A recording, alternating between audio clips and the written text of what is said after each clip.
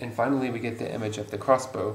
Uh, his energy is like a drawn crossbow, his timing, the release of a trigger. Um, as Minford points out, the crossbow is sort of new technology, uh, we think, at the time when, when the art of war is being written. And if you've ever seen a crossbow or a bow and arrow works the same way, you, you pull it back, and out of uh, a little bit of distance here, you get an, an immense projectile.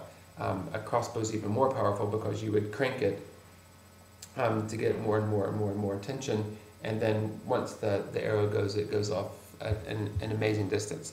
Um, this is maybe a little bit old hat for us, but for we think at the time when Sun Tzu was writing, this was new technology, and nobody had really seen anything like this before. So it was a very, very powerful metaphor for the for um, the use of potential energy. Next, we read, "In the tumult of battle, the struggle may seem pell-mell, but there is no disorder. In the confusion of the melee, the battle array may seem topsy-turvy, but defeat is out of the question. So here one point is that although it might seem like um, there is much confusion and chaos, the skillful warrior is going to see this as, as potential. This, he's going to see the potential energy in the situation.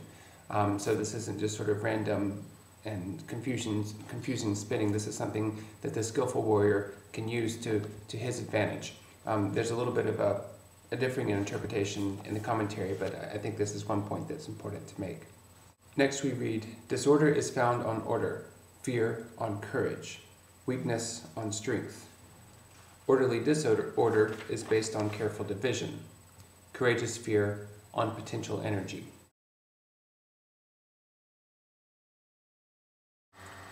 I'd like to look now at the last couple of stanzas of this, of this chapter. Relying on the energy, he sends his men into battle like a man rolling logs or boulders.